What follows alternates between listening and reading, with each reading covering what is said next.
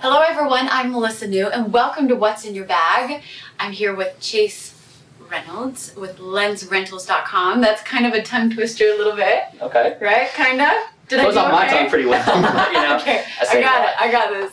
And we're with Alan Hess, a concert photographer. Did I get that right? Yeah, that's that's what I do. Amongst many other things. Right. Mainly, I'm known for my concert photography, and it actually happens to be my passion. And uh, I have a little bit of a switch going on. I'm doing a little bit more pet photography. But, What? Yeah, we'll we'll touch That's that. like- It's the same kind of gear and the same kind of settings too. It's a really weird thing, Oh but my gosh, Really? that's amazing. Right. Well, Chase, you do a lot of concert concert Yeah. stuff as well. I came from the music industry. I was doing production and touring, and uh, I just hadn't always have cameras with me. So part of what I, how I got, started was just access. You Right. know, if you're the person with the camera and you have behind the scenes access, you get some really cool shots. we don't like you. Yeah, you don't like, you don't like me because you're out after three songs. you're out of the pit, right? right. Absolutely. Oh, oh, No. we've got some fighting words It's now. okay. It's well, okay. I well, totally well, let's talk. I'm going to kind of turn this to you. This is kind of your your thing. So what what kind of uh, let's let's talk about gear. Let's pull out the geek stuff. Yeah. What is it that you guys usually do with with concerts? Well, I think every uh, concert photographer has kind of their their core kit. Um, it's concert industry is is very fast. Alan will tell you most times you're just getting the you know three songs. Sometimes you just get the first minute of the first three songs. You know sometimes the lighting's not perfect. You have to think very quickly and be able to capture as much as you can. You need your gear to be super reliable. Okay. So, So- how much time do you usually you usually get? I get um, I, the average three songs per artist. I actually work for a venue. I'm a house photographer, so there are times Oh, where I that's nice. get a lot more access and a lot more. Um, you know, I, I can go different places. I can stay longer, Okay. and okay. some of the nice stuff is that I actually work directly for bands. So Ah. one of the side jobs is I just like shot Ziggy Marley the other night, and so three songs, everyone else is out, and then I'm shooting on the stage in the crowd, and back in the pit behind him. Sure. You know, so it was like a, a whole different story. Oh yeah. it has a downside because instead of coming home with like three, four hundred images, I came home with like two thousand images Yeah, because I shot for an hour and a half, and I'm just, oh my god, that's you know, and then you have to edit.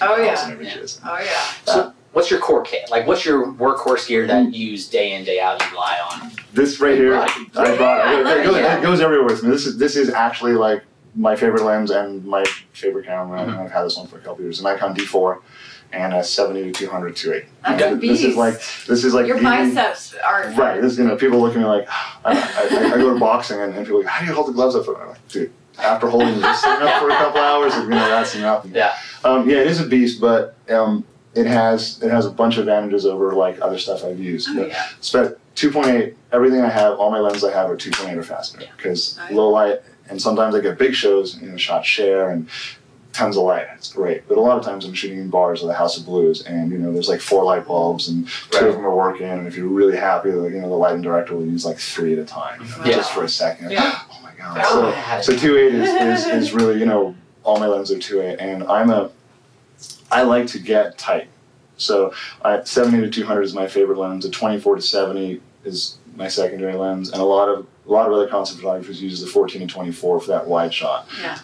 That's not really my style, so I don't use it very often. And when I need it, I get it from the store, or I, or I get a loaner, or you know, I rent it or something like that, because it's just not worth buying it at this point for the one or two you know events that I use it for. So 90%. It was actually funny. I went into Lightroom and I pulled in all my images from one year and I started looking at them for the metadata for some books and classes I was teaching.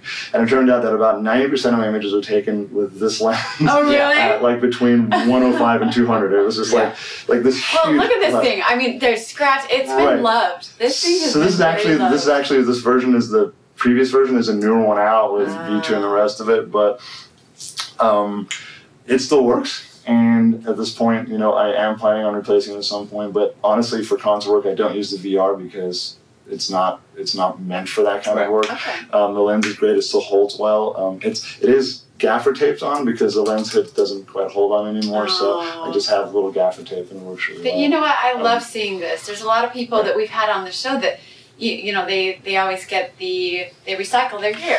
I- But that's kind. I mean, that shows a lot of love there. That's that character. That it, Camera's it got does have character. I'm a working photographer. I don't get paid a whole lot because the other side of concert photography is it's really not a lucrative business. So I write books and I teach and the rest. Right. Of it. So when I buy a piece of gear, I'm really it's got to last me for, For a sure. very long time. Well, Alan, tell tell the folks at home where they can find your work, But, uh, your Alan, concert and pet well, right right now it's AlanHessPhotography.com is my website, and so most of it is all the concert stuff. I do post um, things when I work at like Comic Con or I do some big event, and I you know I'll post stuff about that too.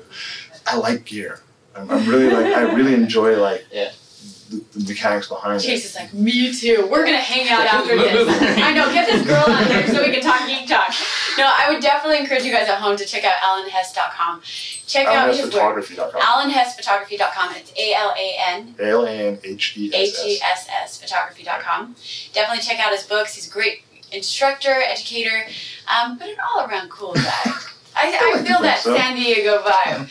But also, he talked a lot about the Nikons, the 72 to 200, and Chase mentioned other gear that he uses as well. Definitely check out lensrentals.com if you want to check these out. Anyways, Alan, thank you so much for your time. That was a pleasure. Thank you.